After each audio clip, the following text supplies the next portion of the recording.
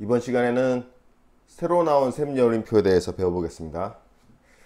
자, 알프레드 교본 47페이지를 보시면 어, 중간에 새로 나온 셈여림표라고 나오죠. 어, 근데 지금 책에는 인쇄가 좀 잘못되어 있습니다. 어, 먼저 나와 있는 게 디미누엔도 어, 점점 작게 연주하는 거고요. 아래쪽에 표시된 게 크레센도 점점 크게 연주하라는 뜻입니다. 화면에 제대로 된 표기가 나오고 있습니다.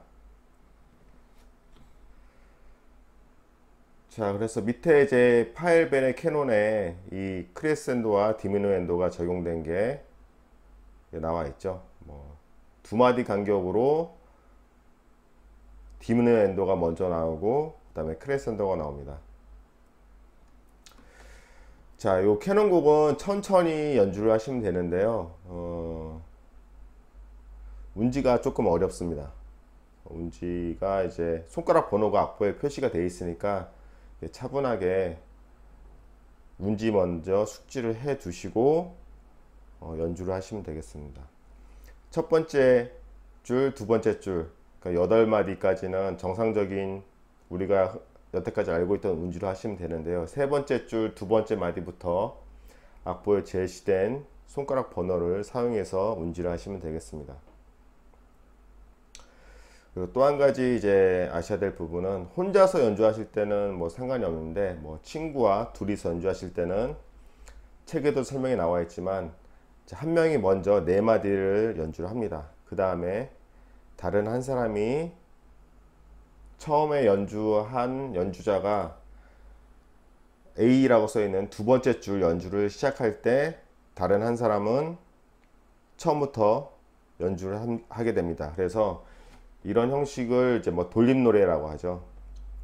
그래서 어, 첫 번째 줄이랑 두 번째 줄, 세 번째 줄, 네 번째 줄이 같은 코드가 계속 반복이 되기 때문에 그 다음부터 연주를 하게 되더라도 화성적으로는 아무런 이상이 없습니다. 그리고 조금 더 재밌는 어, 연출이 되기도 합니다.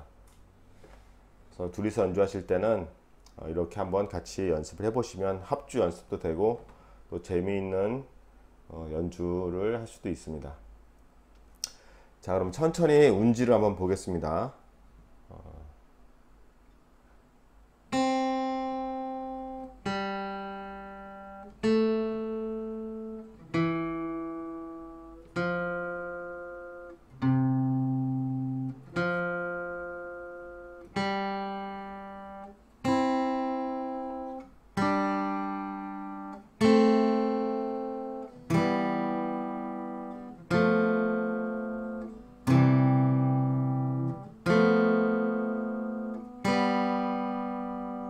자 여기까지는 뭐 같은 음주를 하시면 되겠죠? 그 다음 세 번째 줄부터는 이제 손가락 번호를 설명드리겠습니다.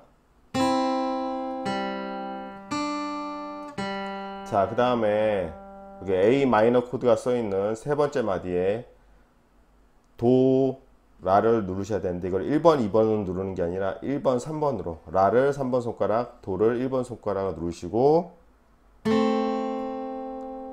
두 줄을 같이 튕겨 주시면 되겠죠. 그 다음에 2번 손가락으로 미를 누르면서 앞에 눌렀던 손가락들은 떼주시면 됩니다.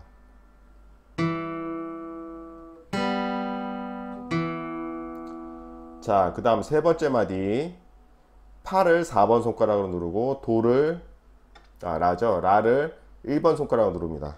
도 라를 파 라를 같이 연주하시고 도를 3번 손가락으로 누르면서 4번 1번 손가락은 떼줍니다. 그 다음에 미솔 그 다음에 도그 다음에 다시 파라가 나오죠. 앞에 연주한 것처럼 4번 1번으로 파라를 연주하시고 도를 3번 손가락으로 누르고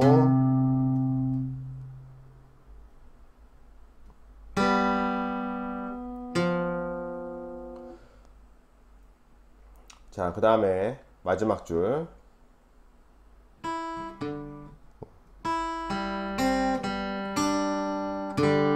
이제 온지가 써있죠.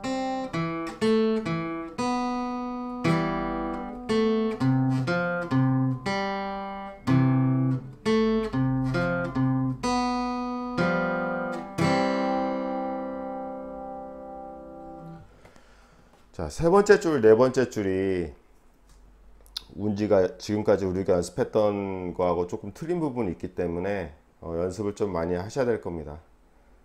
그리고 일단은 이런 운지를 신경 쓰시다 보면 조금 전에 설명드렸던 이제 크레센도와 디미누엔도를 적용시켜서 할 정신이 없을 겁니다. 그래서 일단은 어, 샘열림표를 적용하지 마시고 운지 먼저 숙달될 때까지 반복해서 연습하신 다음에 운지가 익숙해지시면 샘열림표도 적용해서 점점 작게 연주하고 또 점점 크게 연주하고 이렇게 하시면 되겠습니다.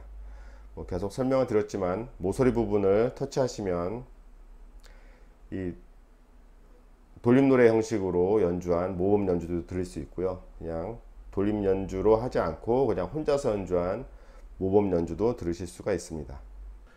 자 이번에는 애니의 노래 설명입니다. 자 애니의 노래는 듀엣곡이네요. 그리고 이제 목가춤 마디로 되어 있습니다. 어, 한 박자만 그려져 있으니까 하나 둘까지 세고 셋의 연주를 시작하면 되겠습니다 하나 둘셋 어, 이런 식으로 어, 연주를 시작하면 됩니다 그리고 2번 파트는 1번 파트가 도, 도, 시, 라, 그 다음에 파라를 칠 때 그때 같이 하면 되겠죠. 그러면 카운트를 하면 이렇게 되겠죠. 하나, 둘, 셋, 하나, 둘, 셋. 이렇게 연주를 시작하면 되겠습니다. 자, 이 곡도 이제 앞에서 연주한 음을 계속 누르고 있어야 되는 거 나오죠. 보시면 점선 표시가 되어 있고 책에 다 표시, 어, 설명이 되어 있죠. 그래서 그 점선이 끝나는 부분까지 박자까지 계속 소리를 눌, 음을 눌러서 계속 소리가 나도록 신경 쓰셔야 됩니다. 자 그리고 이 노래 보시면 이제 다섯 박씩 나오는 음이 나와요. 이제 화면에도 표시가 되는데 이 부분이 어, 이 곡에서 자주 등장을 합니다. 어, 점 2분음표와 2분음표를 붙임줄로 연결한 거죠. 자 그러면 이제 총 다섯 박자가 됩니다. 그럼 박자를 다섯을 세시는 게 아니라 한마디가 세 박자로 되어 있으니까 하나 둘 셋 하나 둘 하고 셋 할 때 다시 랄라가 나오네요. 이렇게 하나 둘 셋 하나 둘셋 네, 이렇게 연주를 하면 되겠습니다. 자, 박자를 감으로만 가시면 음을 너무 짧게 연주하거나 너무 길게 연주할 수 있으니까 처음에는 입으로 하나 둘 셋 하면서 연주를 하시고 좀 더 익숙해지시면 박자기를 틀어놓고 박자기에 맞춰서 연습을 해보셔도 됩니다.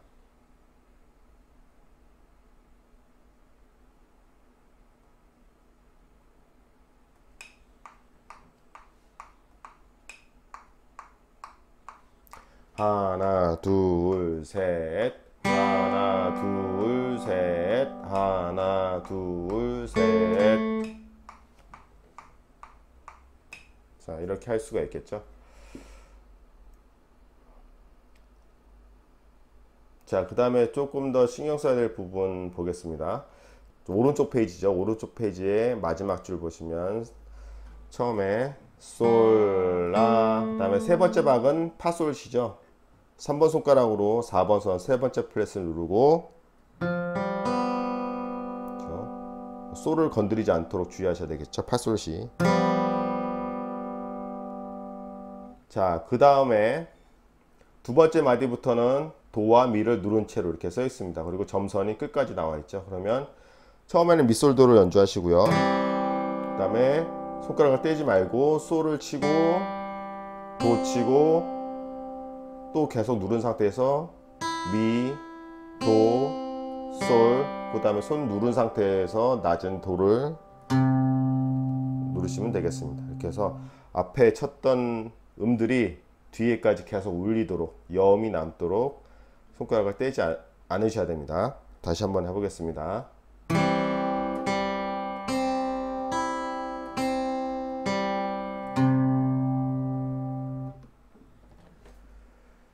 자, 이 노래를 이제 반복해서 연주하실 때는 책에도 처음으로 돌아가 2절을 부르세요 이렇게 나와 있죠.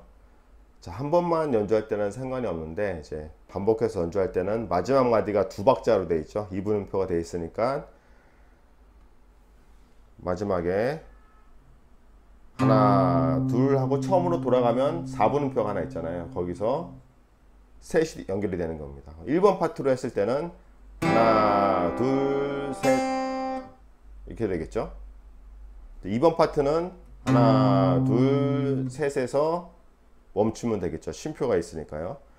자, 그래서 첫 번째 마디와 마지막 마디를 합치면 세 박자가 되니까 이렇게 박자를 세 주시면 되겠습니다. 자, 파트별로 어, 녹음된 것도 이제 느낌표 부분을 터치하면 들으실 수가 있으니까요. 합주 연습을 해보고 싶으신 분은 어, 1번 파트, 2번 파트를 각각 따로따로 어, 재생을 하신 다음에 박자에 맞춰서 같이 연주를 해보시면 합주의 효과를 어, 느끼실 수가 있습니다. 항상 이제 복습을 좀 많이 하시고요. 어, 책이 생각보다 좀 어려운 부분이 많이 있으니까 아, 너무 어렵다라고 생각하시지 마시고 그런 생각이 드는 건 어쩔 수 없죠, 사실. 어, 그래도 복습을 조금 많이 하셔야지 익숙해집니다. 이게 저번 시간에도 말씀드렸지만 마지막에 배운 내용만 계속 연습을 하시면 늘지가 않아요. 앞에서 연습했던 내용들을 계속 꾸준히 복습을 하시면 어느 순간 굉장히 쉽다는 느낌을 받으실 거예요. 그래서 어, 아주 쉬워질 때까지는 복습을 계속해서 해주시는 게 좋습니다.